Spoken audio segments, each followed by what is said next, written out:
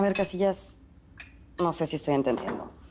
¿Usted quiere pedirle amnistía a todos los candidatos? ¿Ya se lo ofrecieron? Porque ya está la propuesta de Gómez Labrador, pero ya habló directamente con usted. Sonaste como en la tele. ¿Qué me estás entrevistando o qué? No, estamos platicando. La propuesta de Gómez Labrador era para usted, ¿no? Un coqueteo. Coqueteo, más bien fue una tirada de calzón en la cara, hombre. Pero bueno, tú organízame las citas, ¿o? Y después vemos. ¿Por qué y para qué? Porque ya estoy hasta la madre del narco. Necesito a alguien que sea inteligente así como tú. ¿Para solucionarlo? A ver. ¿Escuché bien? Tú quieres arreglar el problema del narco. Así es. Cueste lo que cueste, quiero solucionarlo. Y necesito aliados, gente inteligente. ¿Piensas hacer algo en contra de los candidatos? ¿Esa es tu manera de arreglar el problema del narco? Ganas no me faltan, pero imagínate el desmadre que se iba a hacer. Iba a alborotar todo el gallinero, pero pues esa no es la idea, no soy tan... pe- Aunque no lo creas, yo quiero a mi México más que nadie.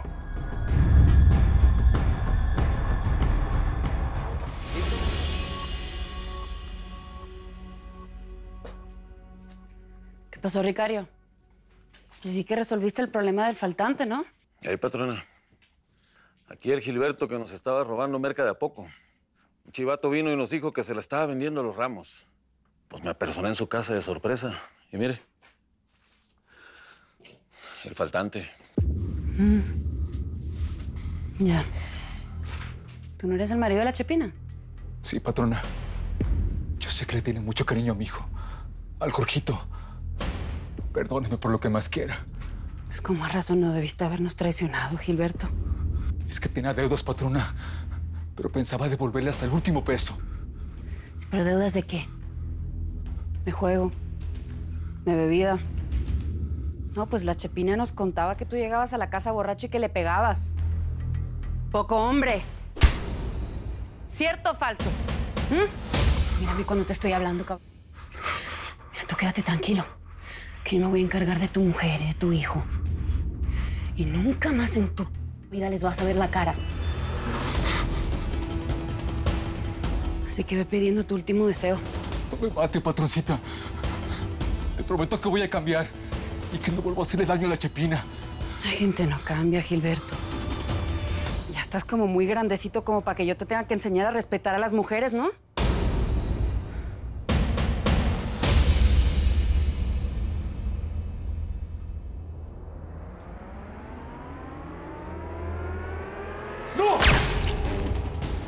Mira, Aurelio, no estoy para chistecitos ahora. ¿Cómo hacemos?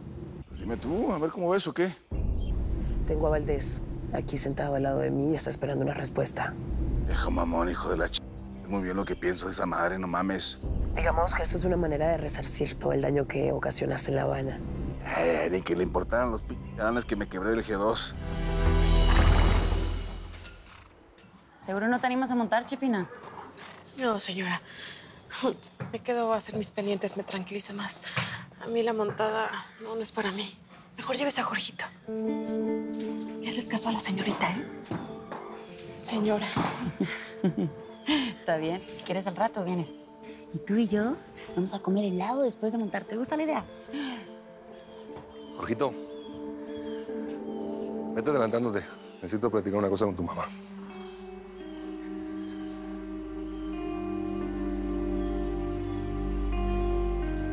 No me diga que me lo mataron. Lo siento, Chepina. Lo tiraron en el rancho de los hermanos Ramos. Nadie sabe por qué, pero le pegaron un tiro en la cabeza.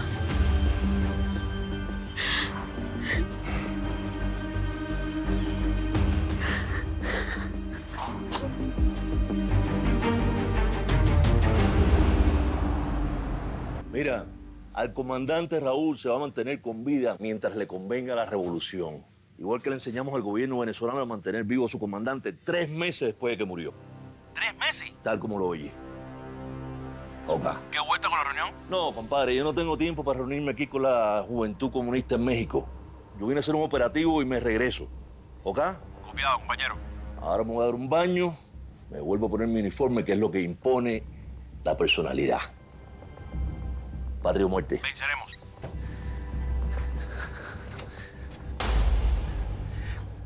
Les dije que se quedaran afuera, ahora se volvieron más también. ¡Yule! ¡Ay, papá! Así te quería agarrar con los calzones abajo, hombre. No, no, no, déjala, déjala ahí, que es un tiro derecho. Ahí déjala la pistolita, hombre.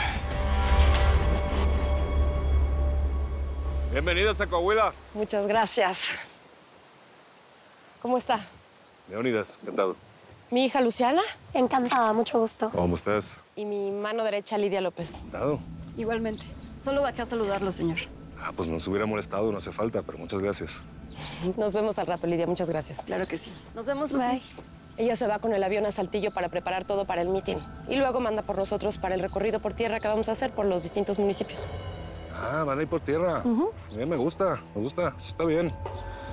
Que pueblen, para que vean lo fregado que está todo. Hacen falta políticos así, que caminen entre la gente. No que lo vean todo desde arriba, desde sus avionzotes.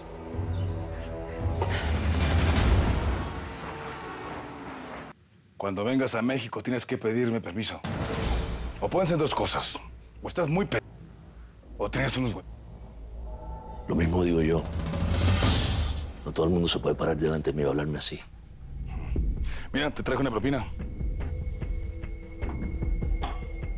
Por las molestias. Dos lingotes, uno mío y el otro de la coronela. Para que la dejes tranquila, ¿no? Si ella te quiere dar más, pues se los pides. Mira, Aurelio, la coronela ha tenido tratos con Cuba y conmigo mucho antes que ustedes tuvieran lo suyo. Así que yo les reclamo más tarde. A ver, papá. No estés en tu p isla bananera. Aquí tu jefe soy yo, cap. Ubícate. Tan caro me quieres cobrar la reunión de Cuba. Ten cuidado. Mira, te voy a dar chance. Haz tu ch... Pero sin este p uniforme no quiero que llame la atención. Pásamelo. ¿Para qué andes como todos nosotros, no? Ah, mira. Este me lo quedo de recuerdo. O este me queda, ¿no? ¿Cómo veo?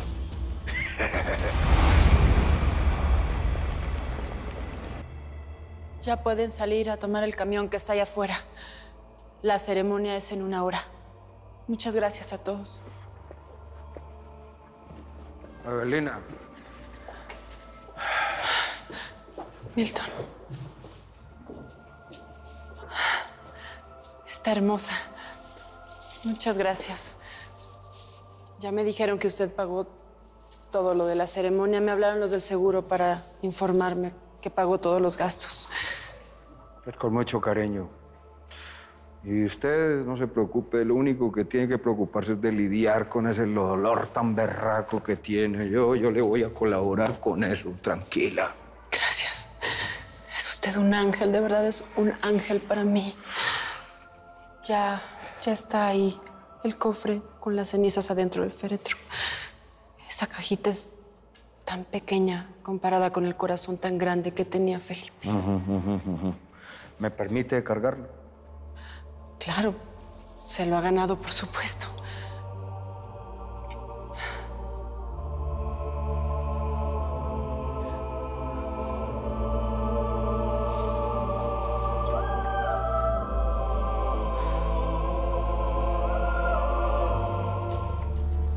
Él también penetró en tu isla. Y es que él es así, Valdés. Él logra penetrar donde se lo propone. Y mucho más fácil que cualquiera. Mira, se necesitan dos años para aprender a hablar. Y se necesitan 60 años para aprender a callar. Wow. Eso lo dijo Hemingway en un hotel en La Habana. El mismo hotel donde tu Aurelio se metió a asesinar a mis hombres solamente para hacerse el machito. Y tú me vienes con esa cantaleta. Sea que sea lo que te haya dicho, te dolió, ¿no? te pegó la amenaza. Tete, fíjate lo que Begoña me propone. ¿Escuchaste? Ya sabes que nunca me alejo mucho de tu lado, mi amor. Y me importaba escuchar lo que tenía que decirte la candidata. No te gustó, ¿verdad, Esther? Mira, yo no tengo nada contra ti, Begoña. Pero contra tu marido sí. Esther. Bueno, ella me preguntó, mi amor. Está bien. Él nunca hizo nada contra el gobernador durante su mandato. Él permitió que la banda de los M's hiciera las suyas. Me extraña mucho que me digas eso, Esther. Mi marido estuvo en franco enfrentamiento con Morieta durante 10 años. Incluso puso un fiscal especial para el caso específico. Que sirvió de muy poco. Tampoco que el narco sigue. Y ya ve, con este hombre de ahora es el colmo, de veras. Ya tiene denuncias en su contra por haberse excedido en los gastos de campaña. No, si no nos han dejado de otra, es que, que Leo se lance solo. Bueno, con todo el apoyo de la gente que confía en él por su honestidad. Por eso estoy aquí. Tu marido es una persona honesta, que pertenece a la cultura del trabajo. Y creo que es importante que nos unamos. No. Lo que viene denunciando la prensa no es mentira, señor. En Coahuila y en todo el norte del país la situación está cada vez más complicada. De hecho, tuve la oportunidad de entrevistar a algunas familias víctimas de la violencia y pues la verdad es que... No, o sea, hemos sido ineficaces. ¿no? ¿Y la DEA qué está haciendo? Pues en todo caso, pues es un fracaso en conjunto. ¿no? Pues yo también lo he pensado un millón de veces, Ricario. Eso, es- eso va a ser un reguero de sangre que no quiero ver. Igual estos no se pueden estar quejando. Si yo les he hecho ganar millonadas, bueno, yo también he ganado, pero Usted no sabe cuánto dinero tiene, ¿ah? pues no. No, la verdad no.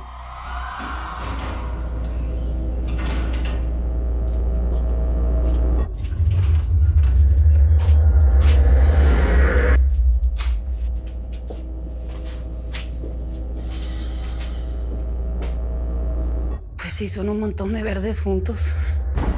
Pues sí, patrona, pero usted tiene que ser más discreta. Ya no puede estar donando tanto dinero a la beneficencia pública. Eso va a despertar sospechas. No, Pues sí, tienes razón. Pero pues hasta ahora lo hemos manejado bien. Uno nunca sabe. ¿Tienes forma de comunicarte en tu celular? Obvio. ¿A quién quieres llamar? ¿A tu papá? ¿Y dónde está? ¿Sabes que esta hora debe estar pedísimo y quién sabe en qué país? Luciana, parece que no estás dimensionando este secuestro, ¿verdad? Claro que lo estoy tomando con calma. Además, el señor lo único que quiere es hablar contigo. El señor. ¿Vitaminas? Señor. Encárguense de mostrarle a las señoritas las habitaciones donde se van a quedar. Sí, patrón. Y que les traigan de tragar y de beber lo que quieran, hombre. Si es posible, nada frito. ¿Sería mucho pedir una ensalada? Luciana, por favor. Sí, lo que quiera, reina, hombre. No pasa nada. ¿Podríamos no darle más largas a lo que tiene que decirme? Primero, no me desprecie nada. Así que nos vamos a tomar unos tragos. ¿Eh?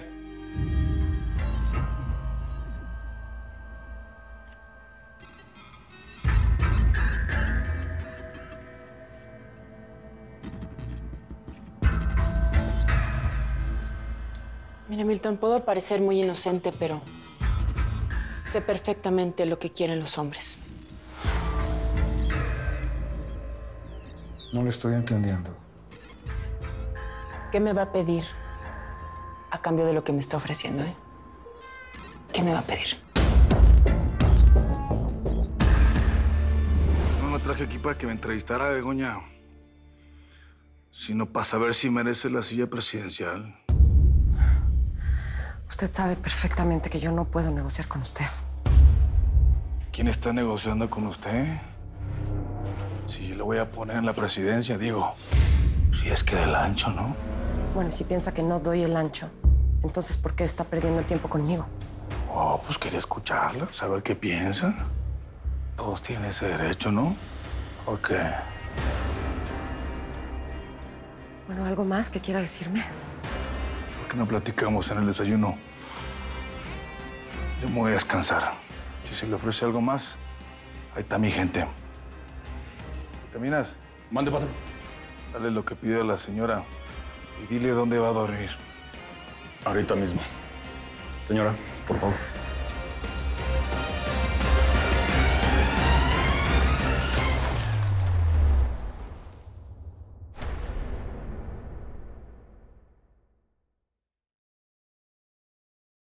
La inteligencia que me han hecho puede ser Alemania, puede ser Colombia. optimista, tan optimista. Y puede estar otra vez Brasil, ese no puede faltar. esos fueron los pronósticos del Cabito para este mundial. Así que ahí nos vemos, pues, cabrón.